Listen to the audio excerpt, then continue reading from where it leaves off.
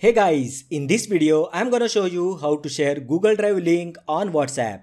So let's get started. First open Google Drive app on your mobile.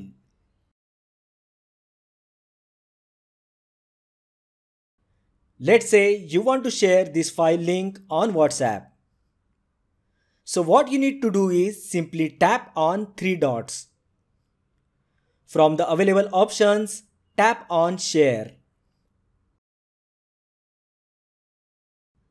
Now tap on this lock icon. Now we need to add users so that they can get access to the file. Tap on this user icon. Here you will get four options restricted, viewer, commenter and editor. Restricted access is only those people added can access the link. With viewer access, anyone can only view the file. With commenter access, people can make comments and suggestions but can't change or share the file with others. With editor access, people can make changes, accept or reject suggestions and share the file with others. So you can decide the access as per your requirement. Once you set the access, tap this icon again and tap on copy link. So now we have copied the file link. Now open WhatsApp and open the chat to whom you want to send the link.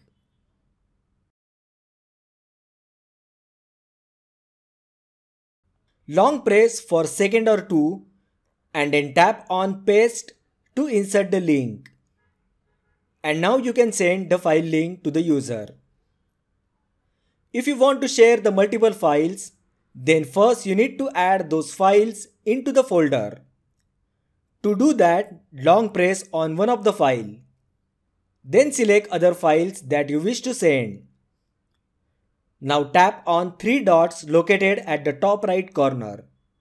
Here tap on move option. You can add those files to the existing folder or tap on add folder icon to create a new folder.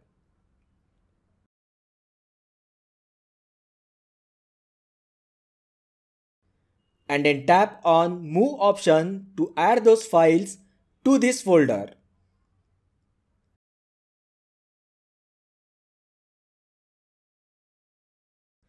Once done, follow the same process discussed before to share the folder link.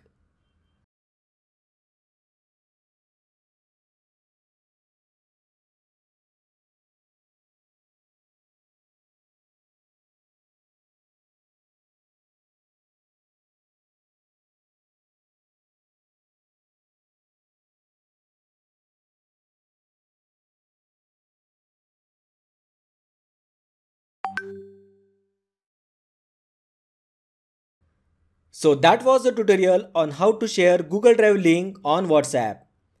If you find the video helpful then like the video, share with your friends and subscribe to my channel.